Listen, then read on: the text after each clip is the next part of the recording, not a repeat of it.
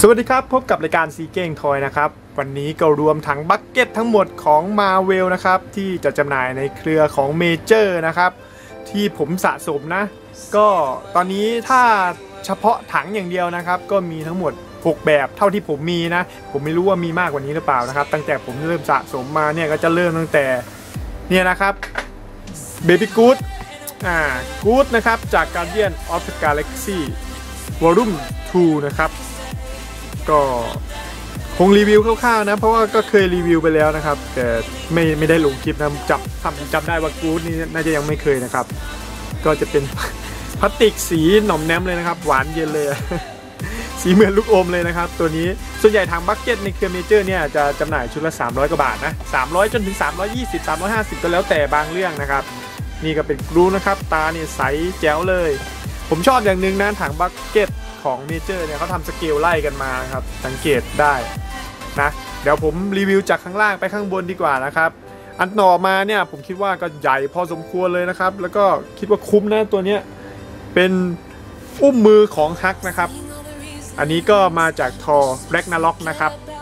นะมือของฮักนะเป็นอย่างนี้เลยนะเห็นกำปั้นอย่างนี้เลยนะครับฮักมี 5 นิ้วนะ นิ้วข้างบนนิ้วชี้ไม่มีเล็บเฉยๆนะครับ นี่นะถังก็บรรจุได้เยอะเลยนะครับ เก็บไว้ก็สวยนะอยู่ในคอลเลกชันนะครับเพราะว่าถ้าเกิดสะสมตัวหัวฮักเนี่ยผมเกรงว่าจะใหญ่เกินไปนะ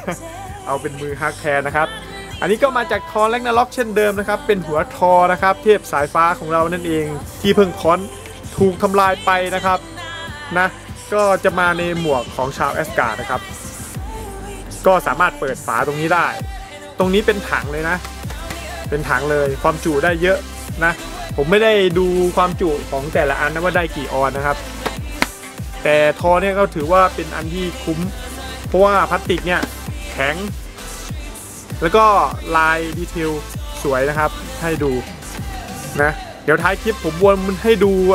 หัวละหนึ่งรอบอยู่แล้วนะ รายละเอียด detail วันนี้ก็มารีวิวรวมๆคร่าวๆนะครับถัง bucket ทั้งหมดของมาเวล ที่ในประเทศไทยจัดจำหน่ายนะ ต่อมาก็คือ Spider-Man Spider-Man ตัวนี้ผมเขียนลายเพิ่มนะครับ เป็นถังป๊อปคอร์น Spider-Man จาก Spider-Man Homecoming นะครับ เป็นภาคเดี่ยวของ Spider-Man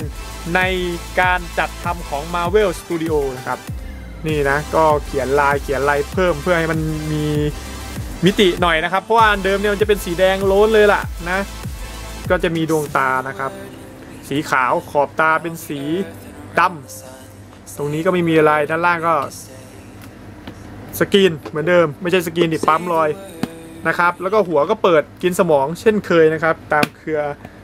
รูปแบบของเมเจอร์นะ ก็ผมไม่แน่ใจนะว่า แต่ละประเทศอาจจะจัดจำหน่ายคล้าย ๆ กันนะครับ เพราะว่าผมเห็นบางประเทศเนี่ยก็ขายเหมือนประเทศไทยนะ ซึ่งคงคงแล้วแต่ว่านำเข้าแบบไหนนะครับ อันนี้ก็สไปเดอร์แมนนะครับ อ่าต่อมาอันกลาง เป็นต้นกำเนิดของมาเวลในรูปแบบของภาพยนตร์เลยก็คือ Iron Man นะครับ Robert Downey Jr.นั่นเองนะครับ คนจะนึกถึง Iron Man เพราะว่ามีความจดจำว่ามันเป็นเรื่องแรกของมาเวลที่เปิดจักรวาลมาเวลนะ จักรวาลของเนี่ยเหล่าอเวนเจอร์อะไรพวกเนี้ยนะนะครับ ผมเคยรีวิวไปแล้ว ไปดูคลิปเก่าได้ ผมให้ดูคร่าวๆประมาณนี้ก่อนนะครับ อันนี้ผมเพิ่งรีวิวไปเองนะ เดี๋ยวชุด topper เนี่ยเดี๋ยวจะมีรีวิวอีกนะครับนะแล้วก็จะมีถุงมือ Thanos ที่สั่งมาจากเม็กซิโกนะ ราคาก็เอาเรื่องเลยนะพันกว่าบาท เดี๋ยวกลางเดือนหน้านะครับ ได้มารีวิวนะครับ สามารถสวมมือได้นะ อันนี้ก็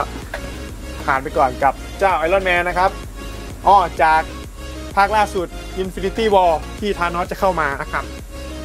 ต่อมาอันที่ 3 นะครับ อันนี้คนชอบกันเยอะเลยนะครับ Black Panther นะครับถังนี้ได้รับความ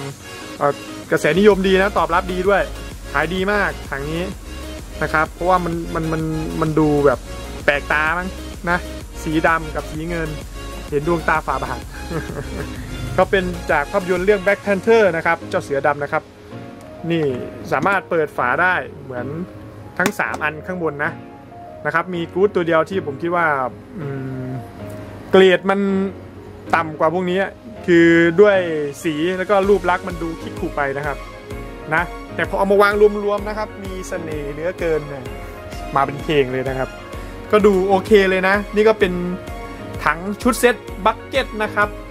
bucket นะ เดี๋ยวถ้าวันไหนผมว่างผมจะรีวิวชุด topper ชุดแก้วน้ำอีกทีที่เป็นของมาวิลนะครับ คงรวมทุกอย่างที่มาวิลเอ่อที่เอ่อเมเจอร์จัดจำหน่ายคงไม่หมดเอาเฉพาะเป็นเรื่องๆไปก็คงมาวิลก่อนนะครับ ที่จริงอะพวกชุดพวกเนี้ยมันก็จะมียิบย่อยเป็นเป็น topper เป็นอะไรแบบนี้อีกนะ แต่ก็คงเดี๋ยวผมเคยรวม topper ของ Age of Ultron อ่ามามารีวิวแล้วก็คงเดี๋ยวรวมเป็นซีรีส์เรื่อยๆ แต่ขอให้มีเยอะกว่านี้ก่อนนะครับนะก็ยังไงรายการซีเก้งทอยก็รีวิวนะครับ ถัง bucket นะครับ ก่อน Infinity War เข้าวันที่ 25 เมษายนยังไงก็ไปติดตามชม ชมเสร็จแล้วก็มาพูดคุยกันแลกทัศนคติกันนะครับสำหรับวันนี้รายการสเก้งคอยขอลาไปก่อนนะครับ สวัสดีครั